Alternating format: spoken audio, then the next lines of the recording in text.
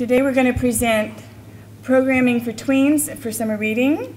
We have some uh, program ideas, some craft ideas, some passive ideas for those in between, those teen wannabes that are in grades 3, 4, and 5, about 11 years, between 8 and 11 years old. So we're going to start with a program having to do with nocturnal animals. Um, similar to some things that they brought up with the children's programming, partner with your Parks and Rec, partner with an amateur astronomy club. The uh, amateur astronomers, oh, this is for, I'm sorry, museums is what I was thinking of for this one. Um, there are museums. I know the San Diego Natural History Museum loans out taxidermied animals.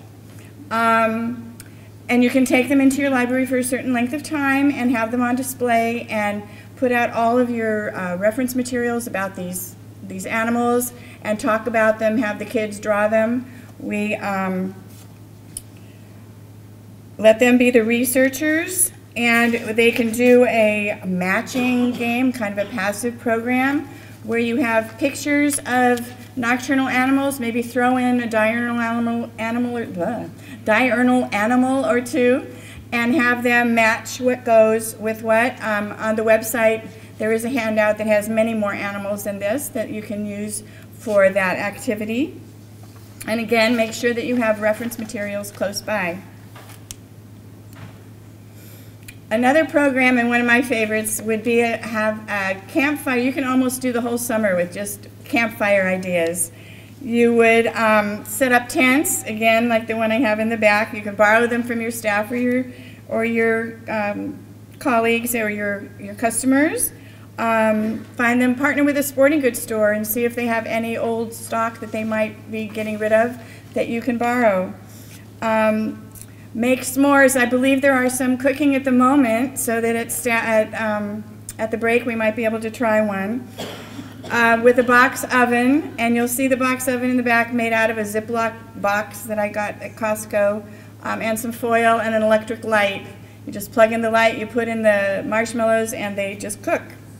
Uh, hopefully they're not burning at the moment. um, also, you can build a campfire out of um, wood, real wood, but tissue paper for the, for the flames, orange, yellow, and red. You can see that back there as well. Um, I have a little light under, the, under it that makes it look like it's burning. You can learn campfire songs. Lots of things online. There are some books in your library. There is a chair set up over there, and on it is a campfire book um, that has a lot of ideas in it as well. You can create camping snacks that you don't have to cook. Make sandwiches, I don't know, celery with peanut butter, lots and lots of GORP recipes, which I have uh, referred you to on the handouts. Um, and then there is also a pizza oven option, making a pizza box oven option that you would need to have uh, do it during the daytime because you need the sun for the heat. But you can use that as well.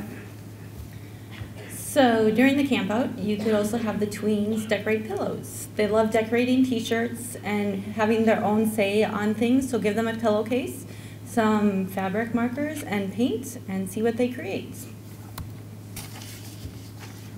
Another thing that I was, I was going to show you um, uh, just a brief YouTube video, but you can access it from the website. Um, I don't know how many of you have seen this in motion. There are lights. Actually, there's a glove over there. This is a little bit different. Um, uh, she'll figure it out. um, they do kind of a light show in the dark, and it's something that tweens do in their get when they get together with each other. Um, that's how I saw it in the first place. And it is basically very inexpensive. That glove was like $7 for pair, and you can do it in the library. Um, buy a few pair, have them create a show of their own. The tweens will love it. Um, and then when you shake it around, there's a, a whole different bunch of settings on the, this particular set of gloves that I bought. But um, they can create a show and put it on for the other tweens. So keeping with the illumination theme, you can make a lava lamp that's non-electrical. You use water, oil, Alka-Seltzer tablets, and you put it into a bottle, and it all globs together, and you put some food coloring in, and you illuminate it with a flashlight. And there's a couple different options for that as well. Or you can make glow-in-the-dark goo. It's similar to other goos that you've seen with the borax and the glue, and you just throw in some um, glow-in-the-dark paint. I have a stuff up here, so if anyone wants to test it out, you can do that. You can also make candles. There's lots of different kinds. This one is a candle that has a tapered candle that you put into a container. You put ice around it and you pour wax over it. And so the ice forms pockets and it melts away and it leaves like a very Art Deco-y kind of shape. You might want to present a Starry Night program. Um, Develop a partnership with an astronomy club. The amateur astronomers love sharing what they know with anybody who will listen to them. They, they bring their telescopes with them. They will let kids touch them and look at things. Even the daytime sky, I don't know if you've noticed uh, this last week, the moon has been up in the sky during the daytime. And so you can explore, maybe have two programs. Have one where it's in the daytime, have one where it's an after hours program. Um, and have them compare what the daytime sky looks like as compared to the night, what they can see in the daytime versus what they can see at night. So one way to further extend this experience is to make constellation string arts. And I have two examples here. And um, it just gives the kids something more tangible to hold on to and learn about the constellations. And you basically just poke holes, whoops, and um, in the shape of the where the stars would be, and then they lace the um, thread through to make the constellation shapes. Or they could make dream boxes and journals so they can write down their dreams or keep little trinkets in here that are special to them so that um, they just have something special and that they've made where they can keep their thoughts and specialness. and each and every one of them is special. Um, another passive activity that you can create is um, a constellation match game where you have collected pictures of constellations and then their names in a different order and put in some that are made up and see if they can match those using the reference materials you have in your library. What you can do is also collect them in a jar. At the, you know, have a, a right, for both of these activities, have a strip at the bottom that says my name and my contact information. And at the end of the summer, for everyone who's done it, you can hit raffle. You can pull one out and give away prizes for that. Another passive activity would be to have a container of glow stars where the kids can guess how many glow stars there are. This could be to promote an upcoming astronomy program or as part of the astronomy program you can have it sitting out or just for fun and then whoever gets the closest gets the stars. And one of my favorite things to do is, is science, as they mentioned in my bio.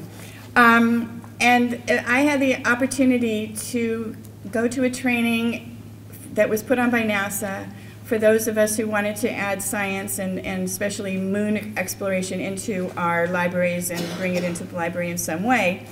And one of the activities that we did was um, creating a demonstration of how the impact craters were created on the moon. And this involves um, getting a tin pan, a, an aluminum pan, baking pan, putting corn, corn, um, cornmeal, cornmeal on the bottom, flour in the middle, and cocoa on the top. So those are kind of the layers of the moon. And then getting round or not necessarily round objects and throwing them at the surface. I was going to do it today, but it really does get messy. Um, the, but the staff is not going to actually care about the mess because it, the library smells like chocolate for days. I mean. So it is a great opportunity to talk about moon exploration. NASA has an amazing website that we can all use. It has lesson plans. It has ideas for programs. um, to bring that kind of a thing, especially this summer, into our libraries. A lot of space ideas in there, not just the moon. Um, They go everywhere. Well, there are so many possibilities to think of again for this summer's, I, this year's theme, limited only by your imagination and that, that again of your colleagues. And we invite you to contact us with any questions or ideas that you might want to share. All of the handouts, everything that we've talked about is on the website. I did bring some samples of the um, handouts for you to look at if you wanted to see them at the break. Well, thank you so much.